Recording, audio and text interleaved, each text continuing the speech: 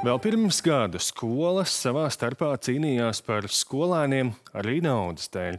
Kaut arī modelis nauda seko skolēnam atcelts, cīņa nav rimus. Savā starpā nu par naudu, kas nāk līdzi skolēnam, sacenšas pašvaldības.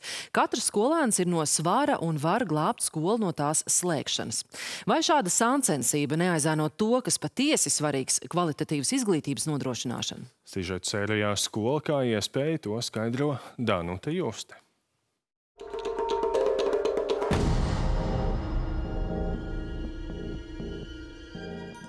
Gan naudas balvas centīgākajiem un talantīgākajiem, gan, piemēram, bezmaksas autovadītāja apliecības iegūšanu. Šādus un virkni citus labumus skolēniem piedāvā Rēzeknes novadā. Tas ir ļoti labs stimuls un, un prieks par tiem jauniešiem, kuri, teiksim, jau beidzot 12. klasi, viņš jau var vadīt automašīnu vai savu vecāku, un viņiem ir šīs tiesības, un tas kaut kādā mērā arī paceļ viņu tādu pašapziņu un arī, nu, arī nosaka kaut kādā mērā arī tādu labvēlīgu cieľom kariéra. Un tomēr, kā izrādās, ar to nav gana. Par katru bērnu, kurš mācās citā pašvaldībā, vietvaras vienotrai maksā, un, piemēram, Rēzeknes novadam izdevumi ir lielāki nekā ienākumi. Vislielākā sacensība ir tieši ar Rēzeknes valstspilsētu. No tās uz novadu skolām mācīties dodas 125 bērni, bet pretēji no novadu uz pilsētu 730. Skolēnu apmaiņa notiek arī ar citām pilsētām un novadiem. Vienīgais, no kura izdodas vairāk piesaistīt nekā zaudēt, ir Lūdzes Rīgas novads. Kopā audzēkņu lielākā savstarpējā apmaiņa notiek ar sešām pašvaldībām. No tām Rēzeknes novads šajā mācību gadā piesaista 214 bērnus un 100 tūkstošus eiro ceturksnī, bet zaudētām 814 bērnus un vairāk nekā 200 tūkstošus eiro ceturksnī. Te gan jāpiebilst, ka summas par bērniem atšķiras gan viņu vecuma, gan arī, piemēram, īpašo vajadzību dēļ. Pašvaldību un skolu maiņai ir dažādi iemesli. Dažkārt gaužām praktiski - vēlme doties uz lielāku pilsētu vai, piemēram, tas ir vecākiem pa ceļam uz darbu. Taču dažkārt vēlme mainīt skolu ir arī dažādu papildus labumu dēļ.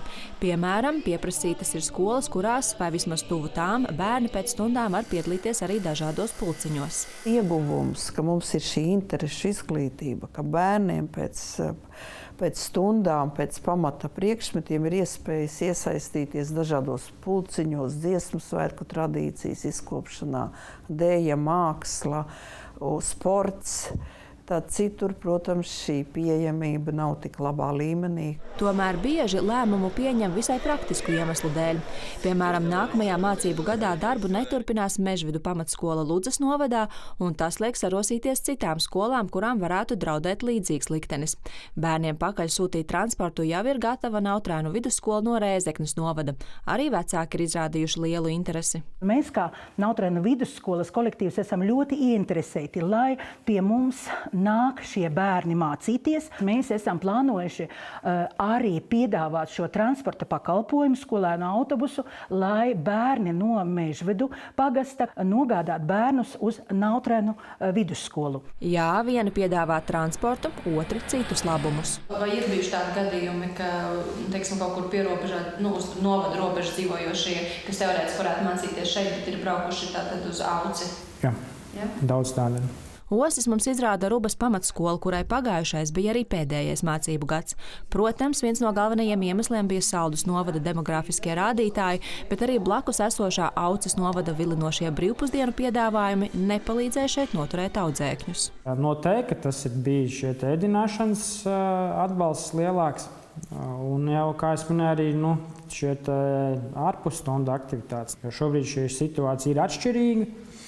Arī šobrīd, pieaugot arī šīm ēdināšanas izmaksām, katra pašvaldība teiksim, iet kaut kādu savu ceļu.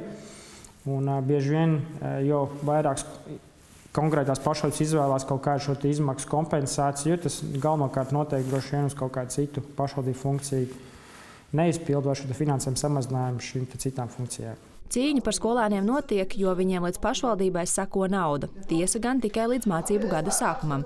Pat jaudzēknis otrajā mācību dienā nolēma mainīt skolu, naudu turpina saņemt iepriekšējā skola, kurai to izmaksā pašvaldība.